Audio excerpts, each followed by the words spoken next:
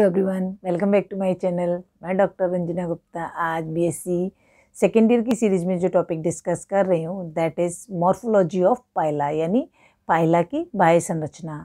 पायला को हम हिंदी में घोंगा भी बोलते हैं। पायला जो है एक फ्रेश वाटर ऑर्गेनिज्म है और जनरली ये फील्ड्स में भी हमें मतलब लैंड पे भी देखने को मिलता है। इसके अंदर हम देखें तो जो पैडी फील्ड्स वगैरह हैं, इसमें ये बहुत कॉमनली देखने को मिलता है मीन्स मॉइस्ट कंडीशंस में देखने को मिलता है। और उसका कारण ये भी है कि इसके अंदर जो दोनों तरह का रेस्पायरेशन होता है मीन्स एरियल रेस्पिरेशन और एक्योटिक मीन्स जलीय श्वसन और वायवीय श्वसन दोनों ही देखने को मिलते हैं। इसीलिए ये दोनों कंडीशंस में ये सर्वाइव कर पाता है।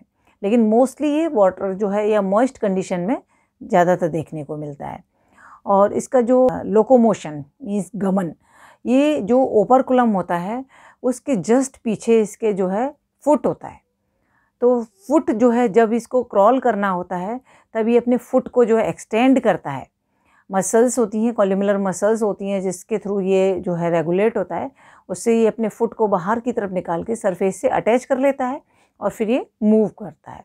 तो ये सब चीज़ें और भी सारे पॉइंट्स हैं, जो कि आगे डिस्कस करेंगे। अभी आज जो हम डिस्कस कर रहे हैं, वो मेनली इसकी मॉर्फोलॉजी के बारे में। Let's begin today's topic morphology of Pila यानी पाइला की बाह्य संरचना। और जो पर्टिकुलर जिस स्पीसीज़ की हम डिटेल स्टडी करेंगे दैट इज़ पाइला ग्लोवोसा तो यहाँ पर जो पाइला है, उसके ऊपर जो है कैल्शियम कार्बोनेट की शेल प्रेजेंट होती है, जो कि उसका एक्जोस्केलेटन फॉर्म करती है। तो ये जो सेल है, वो इसकी कैल्शियम कार्बोनेट की बनी हुई होती है। तो यहाँ पर जो exoskeleton in the form of shell that is formed of calcium carbonate commonly. But एक इसके अंदर एक स्पेसिफिक uh, करेक्टर भी देखा जाता है। सपोज़ जिस कंडीशन में या जो जिस सराउंडिंग्स में ये रहता है उसका डेवलपमेंट किन उन कंडीशंस में इसका डेवलपमेंट हो रहा है जहाँ पर स्ट्रॉन्सियम की क्वांटिटी ज़्यादा है।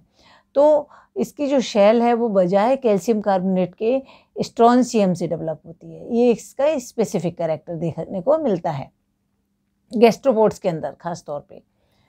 अब जो इस, जो हम एक्जोस्केलेटन जो पूरा है, जो कैल्शियम कार्बोनेट से बना हुआ है, उसको हम देखें तो वो consist of continuous whorls whorl coils इसके अंदर पूरी कॉइल्स हमें दिखाई देती हैं, जो कि इसका स्पेसिफिक करेक्टर होता है।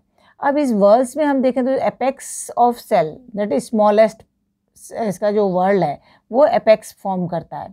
उस और जो बॉडी वर्ल्ड से जो नेक्स्ट होता है दैट इज़ पेनल्टीमेट वर्ल्ड जो इन वर्ल्ड्स को सेपरेट करते हैं, उन्हें हम बोलते हैं सटर्स। इस, ये जो है, वो सटर्स बोले जाते हैं। ये जो है, ये बॉडी वर्ल्स हैं। बॉडी वर्ल्स में हम देखें तो हमें जो दिखाई देती लाइंस ऑफ़ ग्रोथ दिखाई देती हैं, जिन्हें हम वेरिसिस कहते हैं और सिंगुलर में हम इसे वेरिक्स कहते हैं। ये जो है, ऐसा माना जाता है जो क्योंकि आपको थोड़ी फेडेड दिख रही होंगी तो वो जो फेडेड है, वो इसलिए है कि जो इस टाइम ऐसा माना तो जो एक ब्रेकडाउन आता है सिक्रीशन का तो उस टाइम पे जो है, ये जो हमें लाइट्स लाइट दिखाई देती हैं। और ये जो है consist of continuous whorl coiled around central axis which lie on different planes and known as conispiral जो पूरी सेल की जो, क्योंकि एक सेंट्रल एक्सिस के चारों ओर रोटेट होती हैं, हुई बनती हैं, वो स्प्रिंग की तरह है। तो इसीलिए हम इसको स्पायरल जो है कोनी स्पायरल कहते हैं। और जिनका नंबर यूजुअली सिक्सटी फाइव होता है। स्मॉलेस्ट और जो अपेक्स फॉर्म करती है that is lies on the apex that is smallest and oldest होती है वो। और उसके बाद जो है साइज़ बढ़ती जाती है।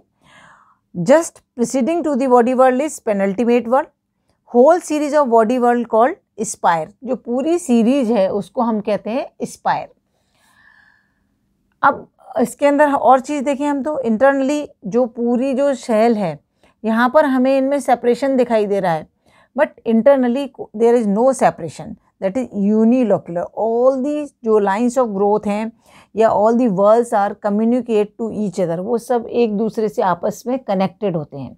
इसीलिए इसको नाम दे दिया unilocular externally successive walls demarcated by lines that is suture जो मैंने आपको बताई, ये लाइन्स जो होती हैं, या आपको जो थिक लाइन्स दिख रही होंगी, हम इन्हें बॉडी जो हमें ये लाइन्स दिख रही हैं, इन्हें बॉडी वर्ल्ड भी कहते हैं लाइन्स ऑफ़ ग्रोथ भी कहते हैं वेरिसेस भी कहते हैं। और जो इनको डिमार्क जो इनको सेपरेट करती हैं डिमार्क करती हैं दैट इज़ सटर्स जो आपको थिक लाइंस दिख रही हैं, यहाँ पर वो सटर यहाँ पर ये है ये है ये है, वो सटर फॉर्म करती हैं। Body whorl open out ventrally by mouth which is covered by with oper operculum अब हम बात करते हैं इसकी ओपनिंग तो यहाँ पर ये है, ये इसकी ओपनिंग होती है, जो कि ओपरकुलम से जो है कवर्ड रहती है। ये जो है इसके मार्जिन जो हमें दिखाई दे रहे हैं, ये इसका mouth peristome that is mouth form करते हैं, जिसके द्वारा ये ओपन रहता है। और इस पर एक लिड लाइक स्ट्रक्चर लगा रहता है, जिसे हम ओपरकुलम कहते हैं। आउटर मार्जिन जो है इसका पेरिस्टोम का, वो आउटर लिप फॉर्म करता है, जबकि जो इनर मार्जिन है, वो इनर लिप फॉर्म करता है। ये जो है यहाँ पर इसके पीछे जो है पूरा कॉल्यूमेला होता है ओपरकुलम में ही पीछे की तरफ़ कॉल्यूमेला होता है जो कि इसीलिए हम इनर लिप को जो है वो कॉल्यूमेलर लिप भी बोलते हैं। कॉल्यूमेला जो है वो पीछे की तरफ़ होता है जिससे ये जो कॉल्यूमेला है के थ्रू ही जो है कॉल्यूमेलर मसल्स होती हैं जिससे ये ओपरकुलम जो है अटैच रहता है इसका। अब यहाँ पर जो है ये जो इनर आ, और कॉल्यूमुलर लिप है उस कॉल्यूमुलर लिप के मार्जिन पे ही जो है अम्बलिकस प्रेजेंट होता है, एक ओपनिंग होती है, या हम के एक पोर लाइक स्ट्रक्चर होता है। तो ये अम्बलिकस की प्रेजेंस हर एक के अंदर होना कंपलसरी नहीं है। ट्रिटॉन ऐसा एग्ज़ाम्पल है, जिसके अंदर जो है अम्बलिकस प्रेजेंट नहीं होता। तो उसे हम बोलते हैं अनफॉर्फोरेटेड या अनअम्बलिकेटेड जबकि जो पाइला है वो अम्बलिकेटेड है, क्योंकि इसके अंदर जो है अम्बलिकस जो है वो प्रेजेंट होता है। इसके अंदर और जो चीज़ें हम देखें, एक और ख़ास चीज़ होती है, बाकी जो सब चीज़ें तो मैंने यहाँ पर ये मेंशन की हुई हैं, बट एक जो स्पेसिफिक चीज़ है कि यहाँ पर जो आपको पायला दिखाई दे रहा है दैट इज़ यदि हम पायला को जो आपको ये फेशिंग हम देख रहे हैं तो इसको मैं ऐसे करके देख रही हूँ तो इसका जो नीचे ओपर कुलम वाला पार्ट है, वो हम मेरे लेफ़्ट हैंड साइड पे आ रहा है।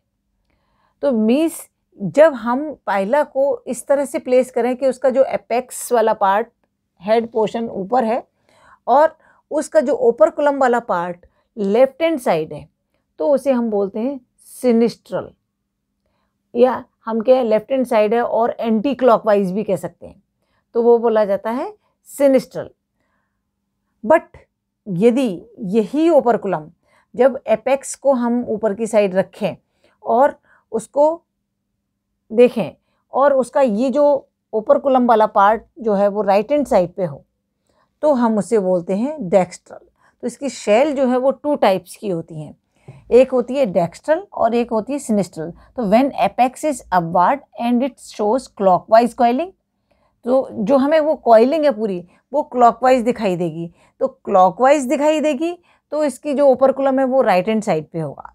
बट जब कॉइलिंग जो है यदि ये सिनिस्ट्रल होगा तो इसकी जो कॉइलिंग है, वो हमें एंटी क्लॉकवाइज दिखाई देगी।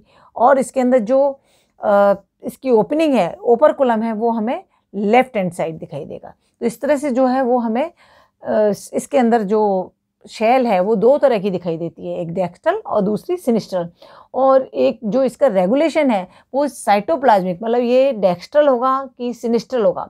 ये जो है रेगुलेट होता है साइटोप्लाज्मिक इनहेरिटेंस के द्वारा, जो कि बहुत रेयर देखने को मिलती है, बहुत कम केसेस के अंदर देखने को मिलती है। तो यहाँ पर जो है पायला के अंदर हमें ये जो साइटोप्लाज्मिक इनहेरिटेंस है वो देखने को मिलती है, जिससे कि ये हमें, उसके अंदर हमें जो कॉइलिंग है और जो ऊपर कुलम की पोजीशन है वो पता चलती है कि ये जो है वो सिनिस्ट्रल है या डेक्स्ट्रल है। आई थिंक आपको समझ में आ गया होगा। फिर भी कोई डाउट है तो कमेंट सेक्शन में ज़रूर मेंशन करें। Thank you so much